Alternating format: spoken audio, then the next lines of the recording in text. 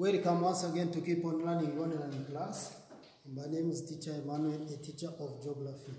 Today we are going to learn geography where we are basically going to discuss about calculations relating to temperature. So we have one question here which is relating to calculation about temperature. The table below shows the temperature reading at a weather station for one week.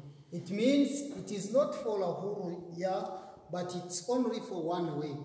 So we have temperature, and then we have maximum temperature and minimum temperature. On Monday, we had 28 degrees Celsius, which was maximum, and minimum, which was 18 degrees Celsius. Tuesday, 27, 18, 28, 20, 29, 16, 29, 22, 29, 21, 26, and 19. So the question is asking, calculate the following.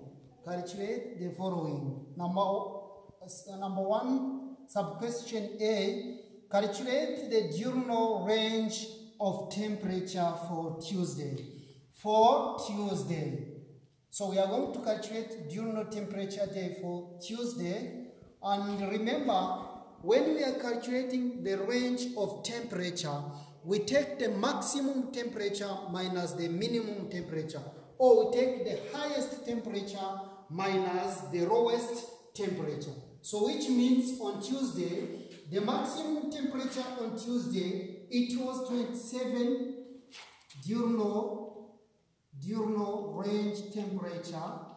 So which means the maximum temperature on Tuesday was 27 degrees Celsius minus the minimum temperature on Tuesday it was 18. 18 degrees Celsius. And the answer is when you take 27 minus 18 degrees Celsius, you are going to get 9, 9 degrees Celsius. So this is the diurnal range of temperature for Tuesday. We can even do diurnal range of temperature for a certain day, either Saturday, either Monday, either Sunday. For example, let me give you another example. If we are calculating the diurnal range temperature of Wednesday, we are going to take 28 degrees Celsius, which is the maximum, minus 20 degrees Celsius, which is the minimum. And therefore, shall get 8.